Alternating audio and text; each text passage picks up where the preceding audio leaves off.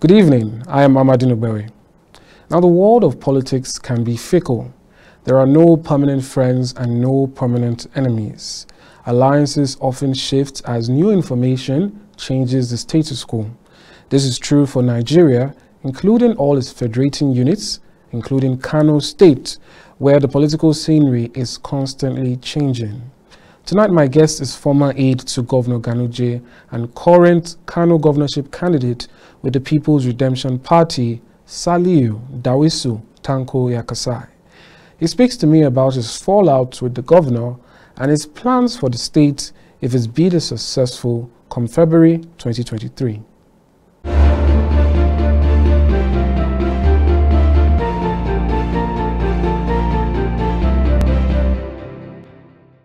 Salihu uh, Dawisu Tanko Yakasai, welcome to Top Talk. Thank you very much. All right, um, let's start on a light note. Uh, the Dawisu in your name, is that your name or a nickname? It's a nickname. Dawisu in Hausa, that's a word in Hausa that means peacock. Mm. Uh, it's a nickname that was given to me by a friend of mine when I was in school. Mm. And then at that time, you know, uh, by the by the name Peacock, you know, so it's someone that uh, uh, dresses nice and looks good and so on and so forth. So uh, obviously, because of the way I dress and look good all the time, yeah. so right. he gave me that nickname. And so when I came to Twitter, I, I wanted to hide my identity. Mm. I just didn't want to be known, so I didn't use my name. I used uh, Dawisu, and I didn't put my name. And then, fortunately or unfortunately for me, uh, the Twitter handle um, became popular, mm. and as such, later on, people got to know that I am I'm the one. So mm. that's how uh, the name now is. So uh, anonymity didn't work out for it you. It didn't. All right, now um, let's get a little bit of some controversies out of the way, so that we can talk more about your plans for Kano State as a governorship candidate. Now, um, I think one of the, other than being the son of the popular Tanko Yakasai, people also know that you were once the aide to um, Kano State Governor, um, Governor Ganduje. And now tell us about that whole situation because we know that you criticized President Buhari twice. I think the first time in your suspension and then the second time a dismissal. Uh, what really, and this was under an APC government which you were part of, what really drove you to do that? Well, by and large, um, I think on both on both instances, um, the the one the first one was in October, and the second one uh, was in February. Uh, and in both instances, it was the issue of um, the insecurity in the country. Uh, I remember the the one in October. It was because of the EndSARS protest that was um, ravaging the country, more or less held the country to a ransom. And at that time, I think about five days into the protest, there was no mention by the president or the presidency about the issue. There was no no action that was being taken to address the issue, and I, I felt uh, that was the height of um, I don't care attitude. You know, you cannot be the leader of the country, and then that type of um, security situation is happening in the country, and there will not be action, there will not be anything. Mm. Uh, just silence, radio silence, and I think it was totally um, uncalled for. And the second one was the issue of the um, uh, girls that were kidnapped. I think over 300 girls in yeah. Tegina yeah. at Niger State. And, uh, uh, you know, um, kidnappers came to their school and took them away. And at that time, you know, as we all know, there have been several uh, kidnappings of uh, school children and so on and so forth. And I felt, you know, it was one too many you know, that uh, the, the, the, president or, the, or his government, uh, by, by extension, they have failed to up, uphold the number one responsibility which uh, they were elected to do, which was the um, um, safety of um, lives and property. You know, people were being killed, were being kidnapped for ransom, you know, and so on and so forth. And I felt, uh, you know, um, I have a voice, I have a voice and I felt I needed to speak up and uh, address the issue of the uh, insecurity at that time that was, I was still, uh, still in a terrible situation in terms mm. of insecurity. So that, basically that was what happened and I, I, I believe uh, everyone with a conscience would speak up. The least you can do is speak up. you know, just demand that the government do the right thing. Mm. Uh, you know, that is what is expected of it. That is what is expected of us as citizens. You know, irrespective of where we are in the where, irrespective of if we are in the government or not, mm. that is the right thing to do. And this is something that I've been saying before the coming of APC.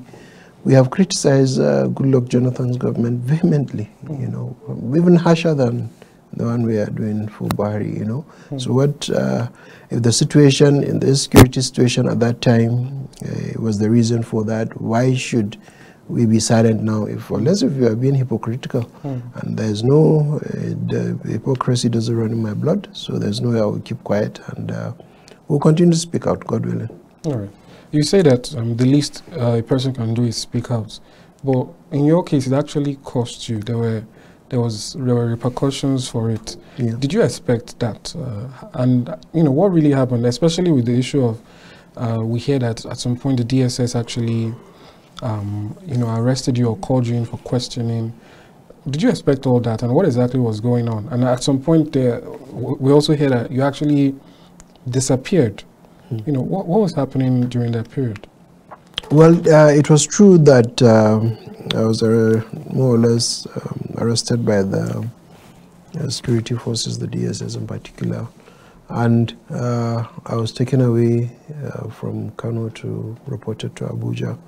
Um, and I think they were just trying to, on their own part, they were trying to to know uh, for sure if there are any hidden hidden forces that are uh, making me to do that. And um, they did the investigation and realized that I have, uh, I'm just speaking my mind up. You know, there was no ulterior motive to it. And of course, uh, because there was nothing to hold on to, of course, um, they let me go.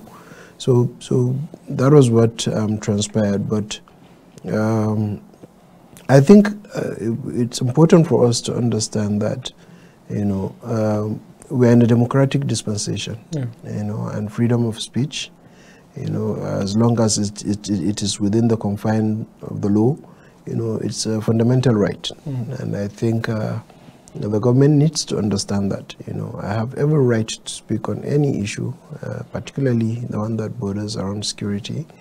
And then, uh, as long as I do not cross the line in terms of uh, um, provocation in terms of um, you know all sort of things that will bring uh, chaos in the land and so on and so forth that would destabilize the peace and security of the country. I think it is within my right to express myself and uh, and, and I will continue to do that, God willing.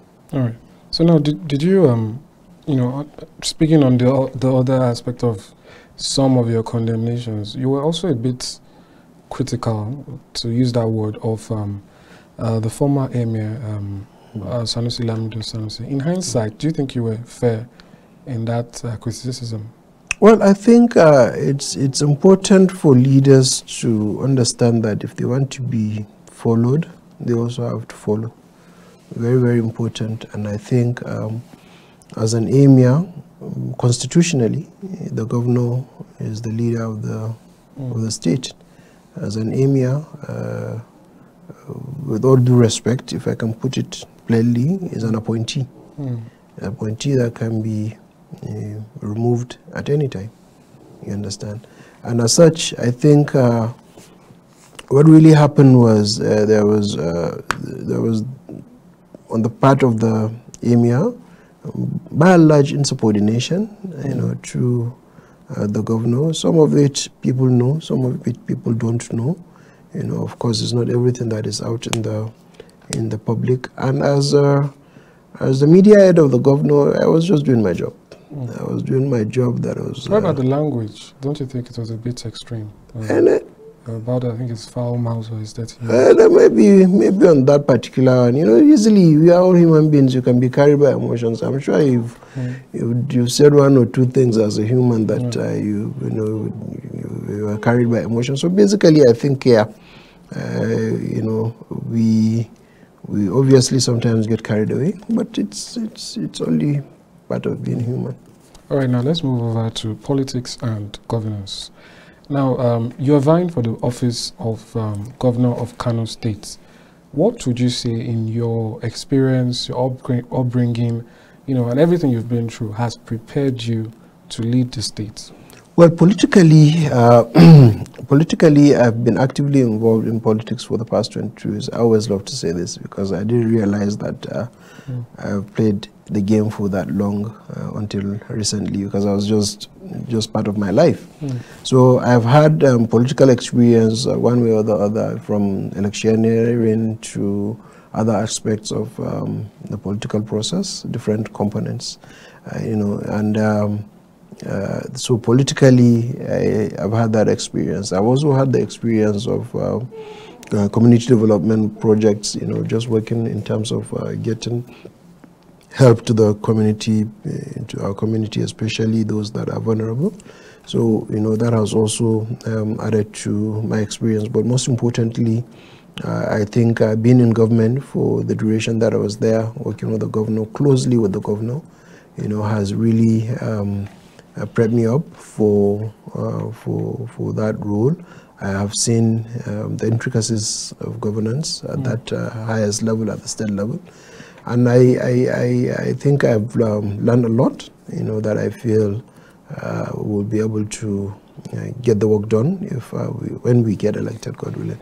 So uh, these are some of the things um, that prepared me, and not just me, but uh, I'm putting up a very strong and competent team that will assist me in doing it. So it's not just going to be Dawis alone.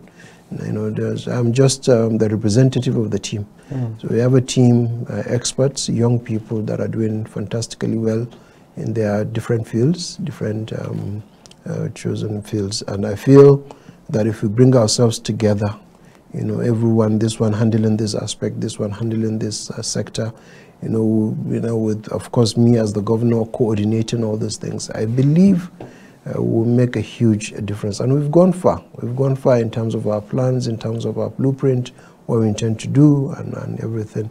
Mm. So um, come May 29th, when uh, inshallah I'm sworn as the next governor of Kano State, you know, I'm not going to start planning then. You know, we are going into government fully prepared, fully planned, and uh, with our blueprint, with our agenda, and we'll hit the ground running from the swearing in ground. God willing. So we are, we, are, we, we, we have been planning for this for a very long time. I can say up to seven years. You know, we've been fine tuning our ideas, our policies, programs.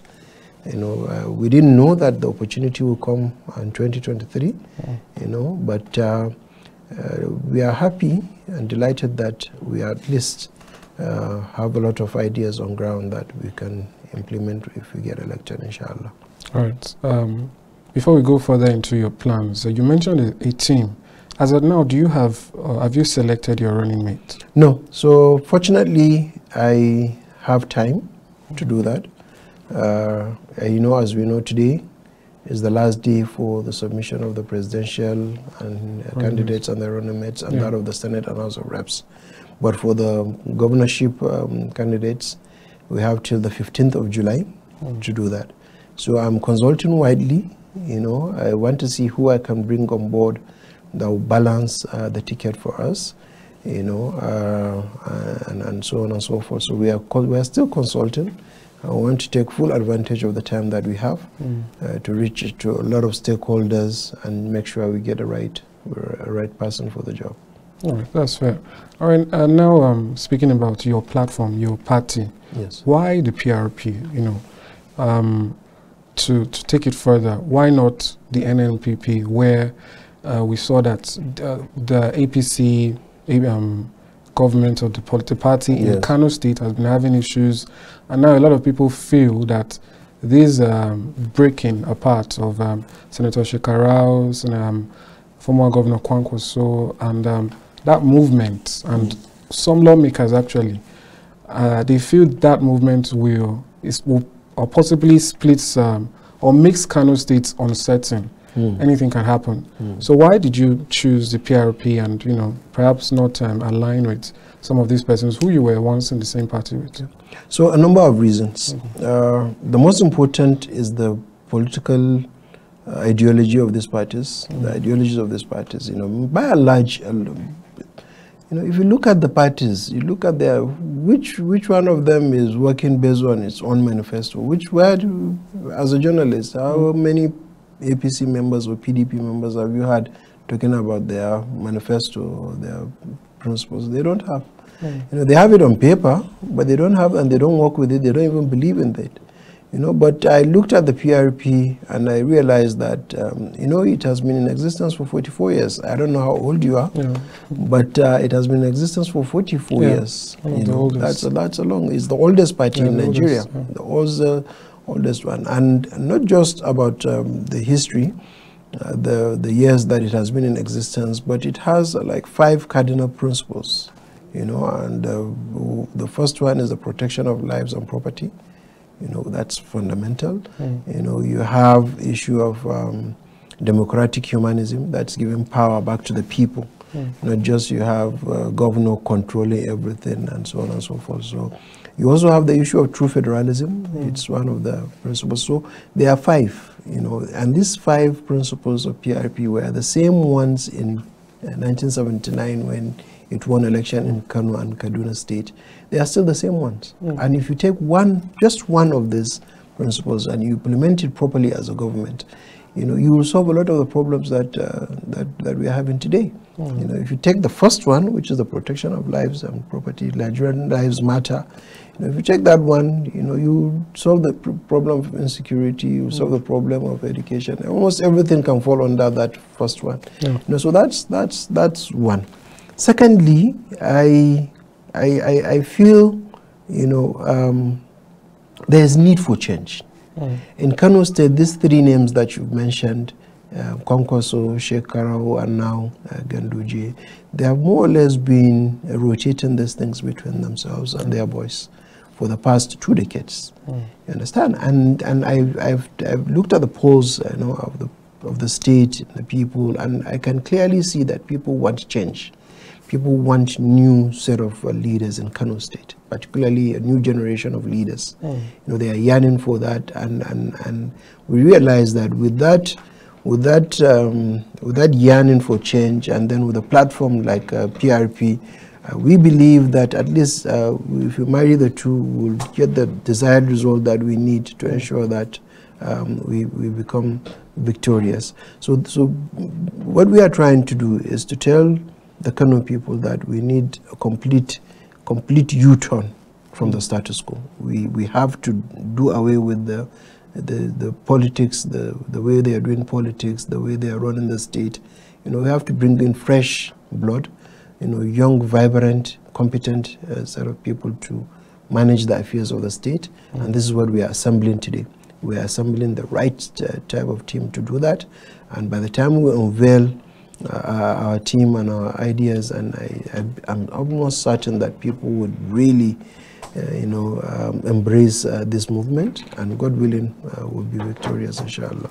All right, now to one of the major issues which you've raised yourself, insecurity. Yes. Now we see that um, certain governors in different parts of the states have had to become, or have had to become um, creative with the ways they protect their own states. Because even though they are called the chief um, security officer, mm. constitutionally they're not really in charge of um, security. So they have to skirt around the, the issue. Yes. What is your own plan um, with the powers you have as governor mm. to do something that um, helps the uh, security situation? Because we saw just um, about a month or weeks ago, uh, there was a some sort of bombing that was being um, reported as a gas explosion, but eventually was revealed to be a bombing. And you know, issues like this, we have kidnappings and all that. So within your own powers as a governor, how would you make a difference? Well, one of the things that I think we have to commend the current um, state government is on the issue of security. Mm. Kano State is at least the most uh, peaceful state in Nigeria you know, uh, majorly uh, peace has been sustained in the state for the last uh, 70, 67 years. Mm. That's really commendable. And I know, being part of the government at that time, that uh, one of the major things that helped the state is um, uh, intelligence gathering.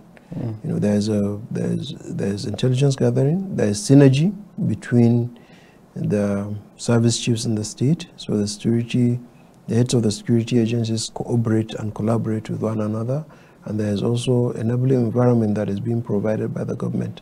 So these are some of the things that have maintained peace in the state. Of course, you know, as uh, people of faith, you know, we have to add that uh, we do sustain um, sustain prayers as well. Mm-hmm. But majorly, uh, uh, intelligence gathering is one area that I think we need to strengthen. You know, we need to know, for instance, in the past, in the olden days in Kano State, you know, when a visitor comes, the first place point of uh, contact he has to be taken to is the office of the ward head. Mm. You know, as a traditional institution. Mm. You know, so the ward head takes record of um, his information, where he is from, what business he's into, how long he intends to stay, and uh, where he intends to lodge.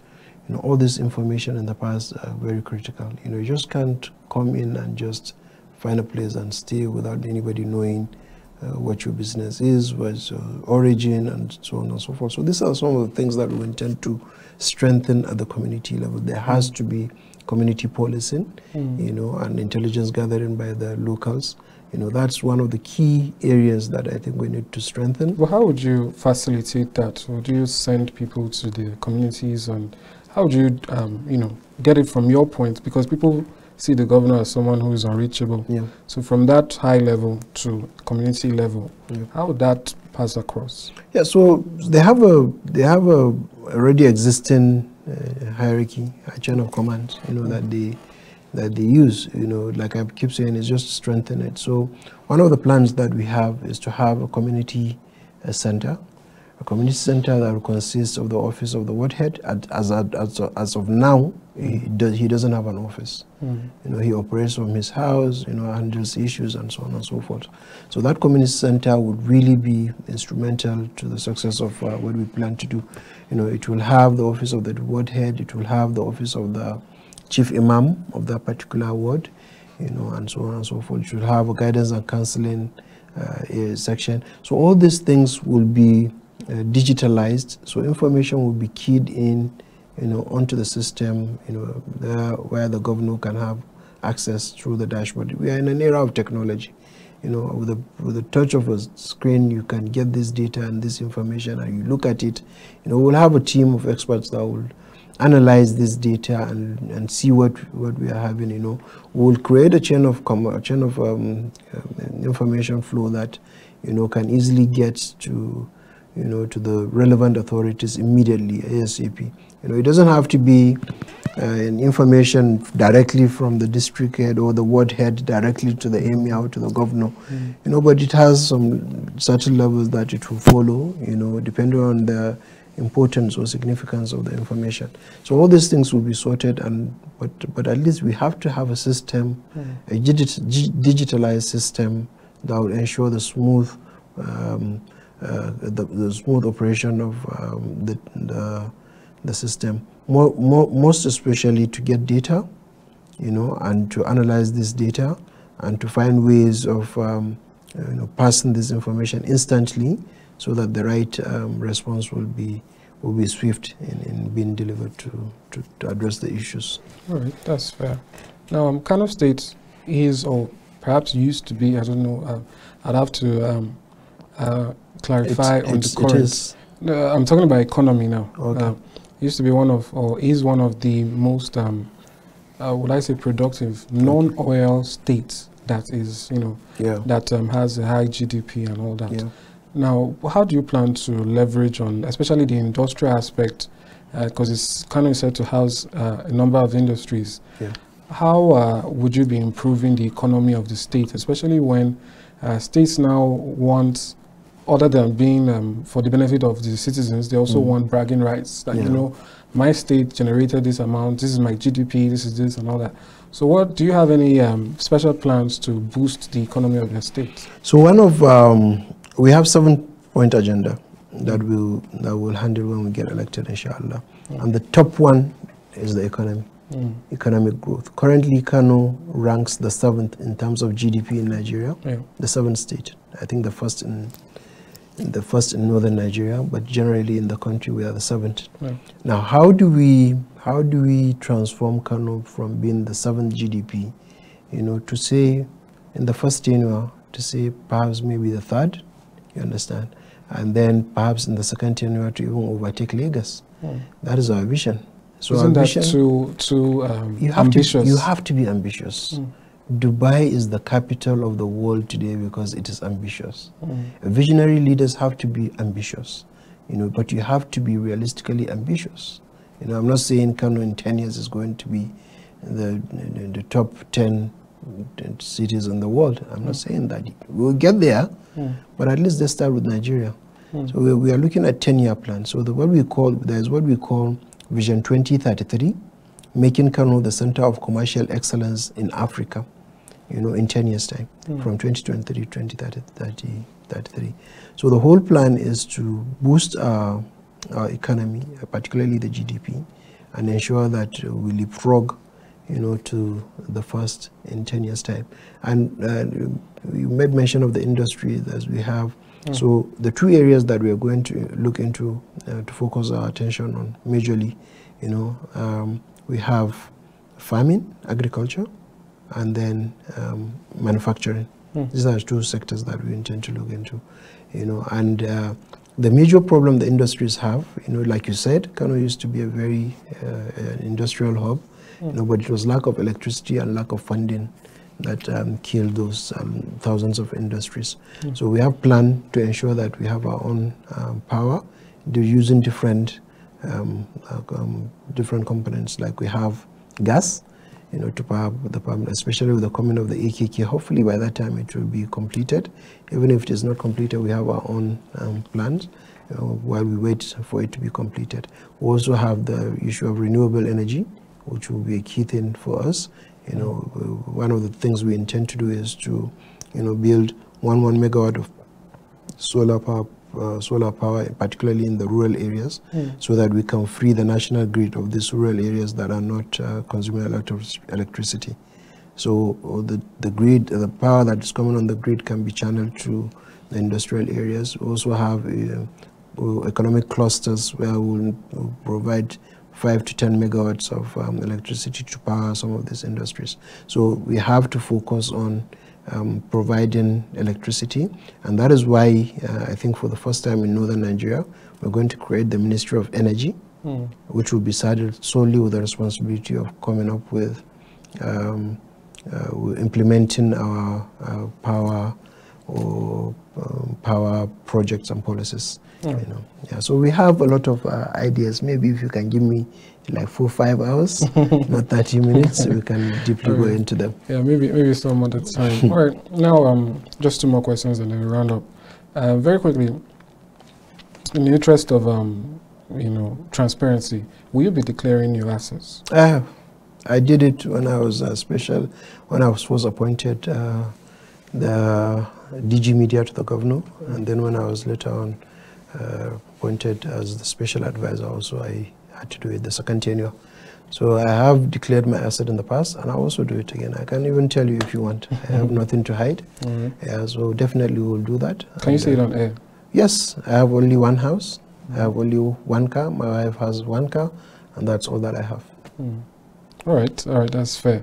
And now just quickly in um, a couple of seconds, um, um, let's just planning ahead what would be your plan or how would you um, handle religious tolerance? Mm. You know, because we see that uh, in the past we used to have one situation in a year or two, and then now, uh, just in the space of a couple of months, we've seen some religious, um, uh, would I say, inspired um, issues amongst um, different religions. And Kano State is a hub where you're going to get, you obviously you already have all kinds of religions there. Yeah. What's your plan to create that unity? Because I think one of the major problems of the country now is the disunity. People start looking at themselves as different, you know, putting more emphasis on their differences. So how do you bring people together, unite them? Interfaith dialogue, you know, as long as you keep communicating, as long as you keep um, relating with one another, you know, uh, you realize that uh, there will be that tolerance, there will be that understanding and cordial relationship,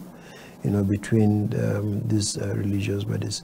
So we have, fortunately, again, you know, uh, in the past, Kano has some history of um, some religious issues, but recently, Uh, for 67 years, there hasn't been any. Mm -hmm. Maybe one or two smaller issues, but uh, majorly there haven't been many uh, major religious crises in Kano.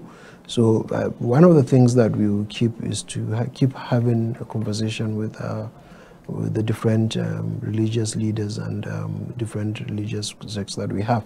We have to keep that uh, balance. Mm. You understand? People have to realize that you you have the right to to to do your religion like I have the right to do mine as well you know and everything if there are differences there are ways of uh, resolving them you know and I think this is why it's important to maintain that interfaith dialogue you know to ensure that you keep bringing these leaders together so that whenever there is an issue you will not say that you will um, eliminate everything 100%. Mm. But whenever there's an issue, at least immediately the leaders of the two major religions, you know, can easily step in, you know, call their followers to order, and then, you know, come and sit with the government and see how that, that, that issue can be addressed, you know, as a whole. So it's important to ensure that that interfaith dialogue uh, is sustained and mm. um, you know, there's discussion and communication between the two All right. religions. All right. Thank you very much for coming. That was so. Thanks for coming on Top Talk. Thank you very much for having me.